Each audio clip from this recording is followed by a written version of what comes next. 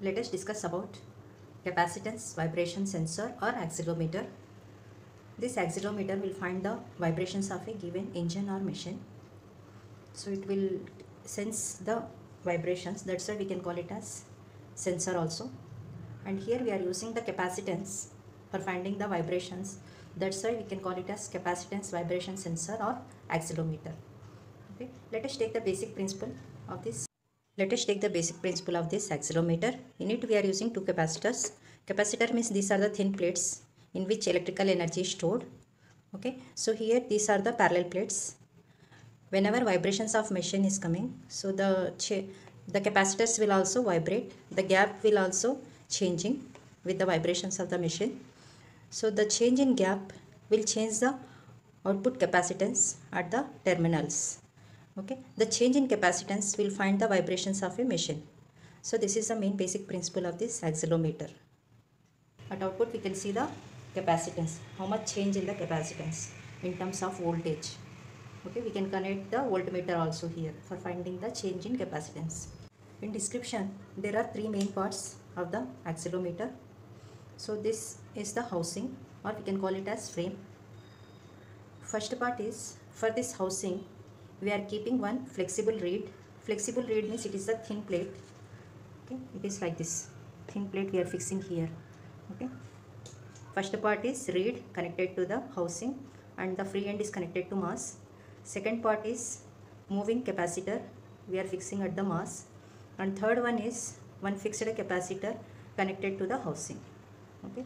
These three are the main parts. And these capacitors are connected with the uh, wires or terminals to the output for measuring the output okay? So these are the main parts in the description. Let us take the working operation of this accelerometer how it is working. So this is a very small in size. So whatever machine vibrations we have to find okay let us take this is a machine. This accelerometer is very small in size. We have to fix on the surface of the machine. And this is the machine and this is the accelerometer whenever this machine is running it has vibrations. It is moving like this up and down. And this accelerometer will also move up and down. And then this is our accelerometer in the enlarged form. Now we are keeping this on a machine surface as I shown here. So this frame is moving up and down. Because of this movement this plate okay we are calling it is flexible reed it will also vibrate with the frame okay because one end of the reed is connected to the frame. Because of movement of the reed this mass will also move up and down with the reed this capacitor will also move with the mass. The change in the distance between two capacitors will change the capacitance. We can see the change in capacitance at the output in terms of voltage okay. The change in the capacitance at the output will cue the vibrations of a machine okay? This output will measure the vibrations of a machine. So this is the main working operation of this capacitance vibration sensor. Here what are the applications of this accelerometer means? We can use in uh, two wheelers four wheelers and uh, some machine vibrations also we can measure easily. And uh, what are the advantages means? It is very small in shape and size. Because of simple arrangement it has a very less weight we can use in circuit boards also where we can measure the output okay electrical output or voltage okay. And the arrangement is also simple and the cost is also less.